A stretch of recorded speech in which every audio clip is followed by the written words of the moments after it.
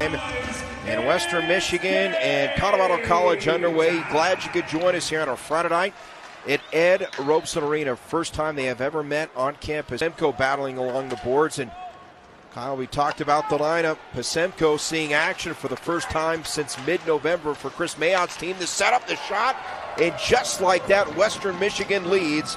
It's Ronnie Attard against Omaha. Doubled his season total, went from three to six on the season.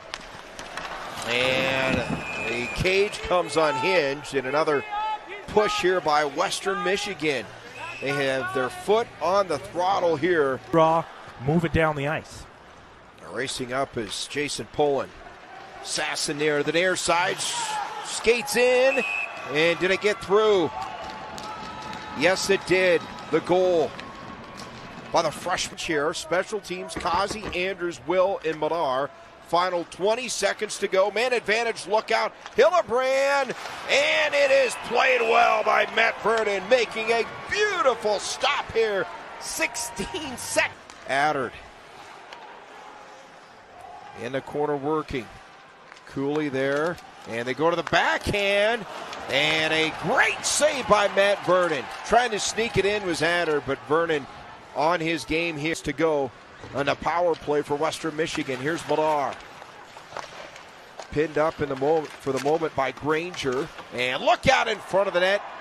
And they sweep across and put it in the back of the cage. Here for Western Michigan. Attard scored the opening goal of the game for Western Michigan. And the feed, the shot, and a goal. Wide open look. Max Sasson buries. Make a pass, whatever he wants to do. Here's Fulp, the one time blast in a goal. Fifth goal of the game for Western Michigan, and it's Ronnie Attard. So the future is bright for the Tigers.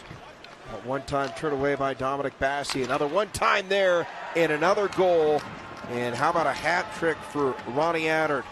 He gets his third, and that kind of a night just off. Yeah, it was a weird deflection off the glass. There's Waite, and that's a goal. Ricochet out of the back of the net. MCC is on the board. Jack off the stick and right to Judding, who put it top shelf. But I mean, credit the Broncos. Here's Sasson. The setup and a goal. Beautiful feed, and Glover puts it away. And Mark.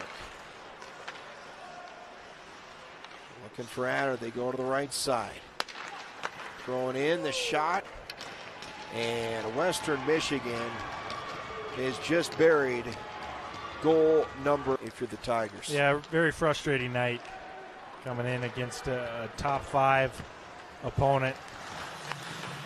Kazi, beautiful goal. Patrick Kazi, the speed and the finish.